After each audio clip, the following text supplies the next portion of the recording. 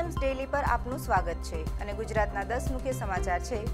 કોંગ્રેસના ઉપાધ્યક્ષ રાહુલ ગાંધીએ ભરૂચમાં જનસભાને સંબોધી અને બીજેપી પર શાબ્દિક વાર કરતા કહ્યું કે સરકારે માત્ર મોટા મોટા વાયદાઓ જ આપ્યા છે અને તે ઉદ્યોગપતિઓ માટે જ કામ કરે છે. સાથે જ કહ્યું કે જીએસટીને પૂરી યોજનાબદ્ધ રીતે લાગુ કરવામાં આવી નથી, જેને કારણે લોકોને તકલીફ વેઠવી પડે છે. પાટીદાર નેતા હાર્દિક પટેલ તેમના જ સમાજના અગ્રણીઓના સાણસામાં આવી ગયા છે. પાટીદારોની છ જેટલી પ્રમુખ સંસ્થાઓએ હાર્દિક સામે મોરચો માંડ્યો છે. તેમના મુજબ હાર્દિક આરક્ષણનું આંદોલન અંગત સ્વાર્થ માટે ચલાવી રહ્યો છે. તે સમાજને ગેરમાર્ગે દોરી રહ્યો છે એવા અનેક આરોપો તેમણે કર્યા છે. ગાંધીનગરમાં આવેલા અક્ષરધામ મંદિરનો રજત મહોત્સવ ઉજવવામાં આવશે. આ પાવન મહોત્સવમાં સામેલ થવા દેશના વડાપ્રધાન નરેન્દ્ર મોદી આજે ગુજરાત જવાના છે. સ્વામિનારાયણ સંપ્રદાયના અનુયાયીઓના આસ્થાના સ્થાન સમા આ મંદિરમાં લોકોનું માનવ મહેરામણ ઉમટશે, જેને લઈને તંત્રએ તૈયારીઓને અંતિમ ઓપ આપી દીધો છે.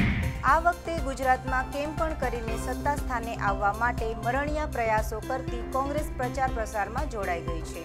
કોંગ્રેસના અધ્યક્ષ ભરતસિંહ સોલંકીએ વડોદરામાં ચાની ચુસ્કી લેતા લેતા કાર્યકર્તાઓ સાથે ચૂંટણીલક્ષી ચર્ચા વિચારણા કરી.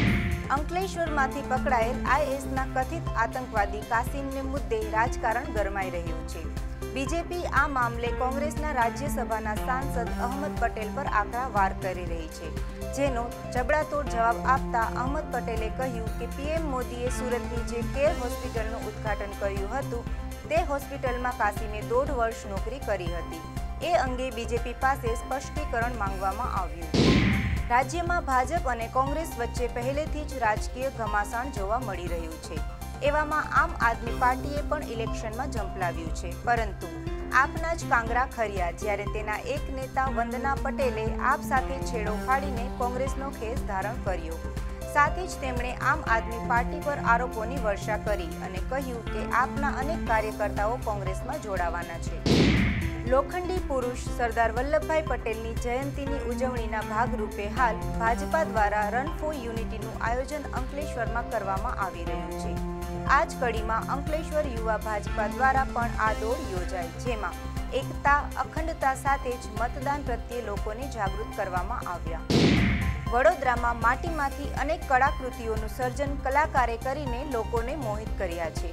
સર્જન આર્ટ ગેલેરીમાં લાગેલા એક્ઝિબિશનમાં કલાકારની કલ્પના શક્તિના દર્શન થઈ રહ્યા છે. જેમણે માટીમાંથી અદ્ભુત વસ્તુઓ બનાવીને એક નવી ભેટ લોકોને આપી છે.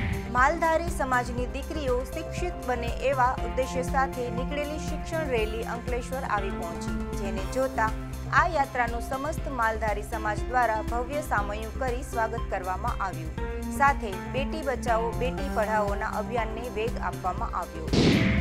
વયની સાથે મહિલાઓમાં બ્રેસ્ટ કેન્સરનું જોખમ વધી જાય છે અને તેથી જ મહિલાઓને આ બીમારી પ્રત્યે જાગૃત કરવા માટે વડોદરામાં એક પિંક વોકેથોનું આયોજન કરવામાં આવ્યું, જ્યાં મહિલાઓને સ્વસ્થ રહેવાની તાલીમ પણ આપવામાં આવી. અમારી સાથે બની રહો ભારત અને કેનેડાના મહત્વપૂર્ણ સમાચારો સાથે પાછા મળીશું.